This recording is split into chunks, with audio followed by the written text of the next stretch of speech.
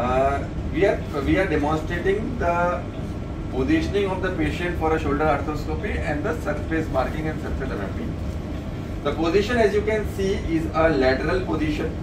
We usually keep the patient in around 30 to 35 degrees of abduction, the hand. And it little bit depends on the kind of the pathology that we are treating. If you want to do a rotator cuff pathology, you need to keep it around 35 degree of flexion and about 10 to 15 degrees of anterior tilt. And if you are doing sort of a Bankart pathology, you can just increase the abduction a little bit. And occasionally you can also give, you are treating an intra-articular pathology like a labral tear or Bankart tear, you can do a lateral correction as well to open the joint space. So the pathology will depend whether the positioning will depend whether you are doing a cuff pathology or a labral pathology. So for a cuff pathology, this position is perfect. You need to take it around 35 degrees of abduction and about 10 degrees of forward flexion.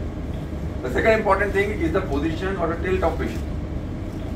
You might have to tilt the patient slightly posteriorly to make the level. So ideally when you are doing a labral pathology, the glenoid should be parallel to the floor. So if you, for that you may have to tilt the patient a little bit posteriorly to actually achieve that angulation angle.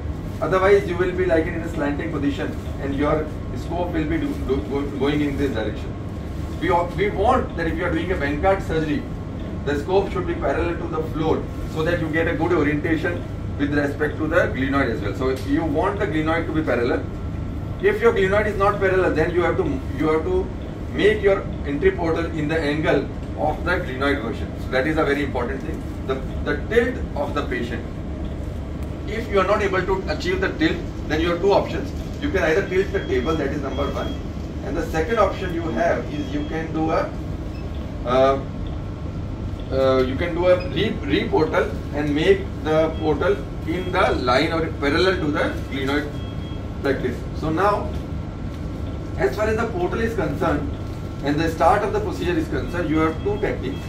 One, you can dilate the shoulder with a saline. So you can use a 50 ml saline, put it into the joint, dilate it and then put your portal. Or what is commonly used, what I commonly use is a straight direct technique. So we start the surgery with a P portal, that is a posterior portal. The posterior portal is about 3 to 4 centimeters from the posterior lateral edge of the acromion. So I just go through the surface markings. This is the acromion.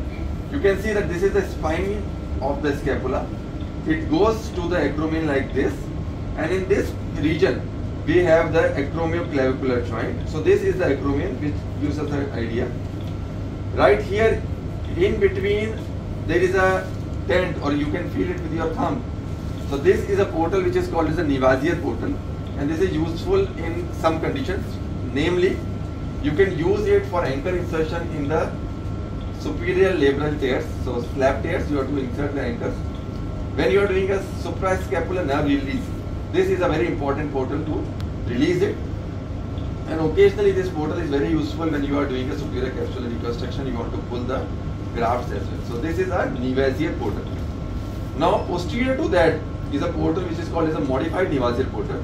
This is more posterior and more lateral to the standard Neviaser portal.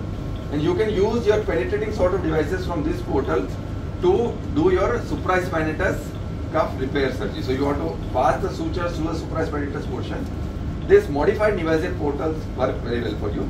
It is about an inch lateral and posterior to the standard Neviaser portal. Now as I told you, this is the posterior portal and this is the Wivin portal for most of the intra-articular surgeries like labrum. Now posterior to that and slightly higher is a portal which is called as a high posterior medial portal. This is again a very good portal when you are doing a cuff repair for the infraspinatus portion. So you can use your penetrating suture grasper from this portal and do your infraspinatus tendon repairs. So this is a high posterior medial portal. Lower to that is a posterior lateral portal or a low posterior lateral portal. The posterior lateral portal is approximately here. You can make another portal which is called as a low posterior lateral portal which is just little lateral to this and which will be useful in the intra-articular pathologies like Bankart. So this low posterior lateral portal which is slightly lower than this, this is the site of the low posterior lateral portal. This portal is a very good portal for loose pointed retrieval from the axillary pouch to insert the anchors for the posterior labrum, to do the passage of the sutures through the posterior labrum, and occasionally you can do some kind of a posterior releases with them. But the only thing is this portal is quite close to your axillary nerve and you should avoid making a full cannula or making a very wide portal. So we recommend that if you are using a low posterior lateral portal, you use it with a knife and dilate it with a artery and then use it and not, not make a very big portal because this is the only portal which is slightly closer to the axillary nerve. Now comes the posterior lateral portal. This is a usual portal that we use for the rotator cuff rotator cuff visualization. So whenever we are doing it, whenever you are doing it, this posterolateral portal is the portal which we use to uh, view our rotator cuff. So this is a viewing portal in most of our rotator cuff repair surgeries. Now L is the lateral portal. This can be a little more or wide and occasionally some people can make two lateral portals as well. And this is the main working portal when we are doing a rotator cuff repair surgery. The W sign here what you can see is basically W sign here you see is the port of Wilmington. So this port of Wilmington is a portal which we use to put the anchors for the SLAP. So this is a port of Wilmington and the exact position is about 1 centimeter medial and 1 centimeter posterior to the anterolateral edge of the acromion. Now as far as the anterior part is concerned, you make two portals anterior portal and the anterior superior portal for your labral work like Bankart tears. And this usually is at the triangle. Nice please. So this usually is at the triangle. Marker. So this usually is at the at the triangle. So we make two portals, the anterior portal and the anterior superior portal. And these portals are actually at the ends of the triangle. So if this is your triangle, so this is the uh, subscap, this is the biceps, so one portal will be here and one portal will be here. So this portal, two portals are at the edges of the triangle of the rotator interval. So two portals, anterior portal and anterior superior portal.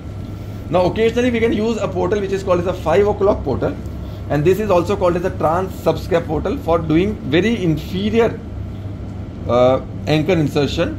Now this portal goes through the subscap and again you don't have to put any cannula through it. It is just a small portal and you can just put your anchors. Occasionally you want may want to put a portal which is little medial to it. Supposedly if you want to put medial port medial anchors on the glenoid, if you are doing a double row repair, so then it will be little medial. But then you should be very aware of the coracoid and you should avoid making a por any portal which is medial to the coracoid in this particular position, that is a lateral position.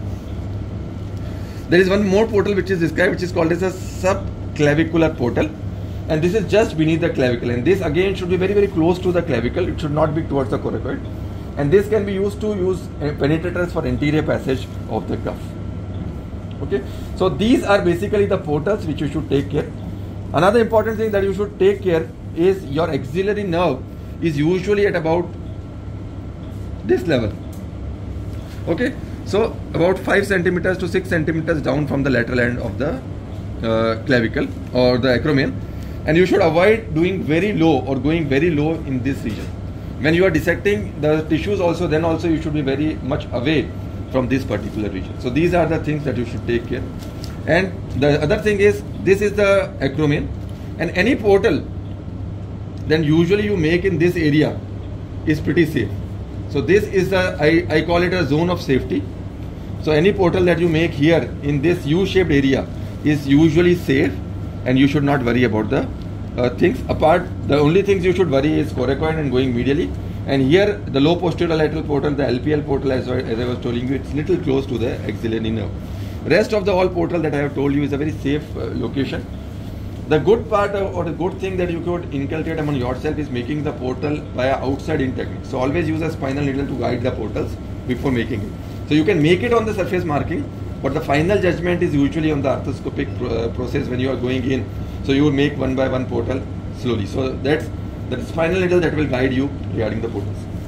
The another concept is you should not shy away from making number of portals. So if you, it's not that that if you make six portals or seven portals, you are a bad surgeon. You are a good surgeon, because as Dr. Burkhart used to say that you should shoot straight. So if you are not getting a proper trajectory from a particular uh, portal, then don't shy in making another portal to pro- get a proper trajectory. This is for both, for the visualization and for the working portal both. Okay? Any questions? Thank you.